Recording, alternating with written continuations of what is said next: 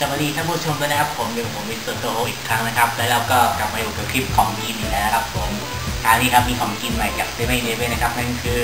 DKP ข้าวมันไก่ย่างนะครับผมแหมแหมในเนี่ยมันก็มีของใหม่เต็มเทียมมันก็ต้องลองอะนะซึ่งแน่นอนว่าผมนี่เป็นเซียนการกินข้าวมันไก่ย่างเลยแต่ข้าวมันเอ้ย ดิแต่ไม่ใช่ดิต้องพูดให้ถูกคือ ผมว่าเป็นเซียนการกินข้าวมันไก่ข้าวมันไก่ทอด แต่ข้าวมันไก่ย่าง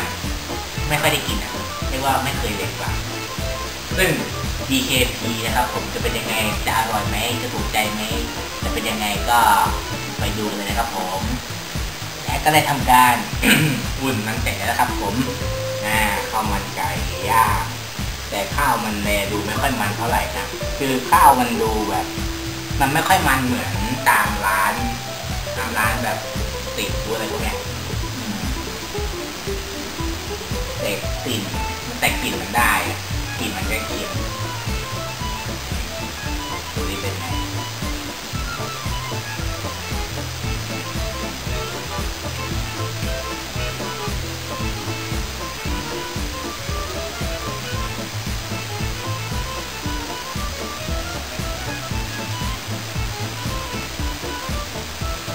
คือตัวข้าวอะ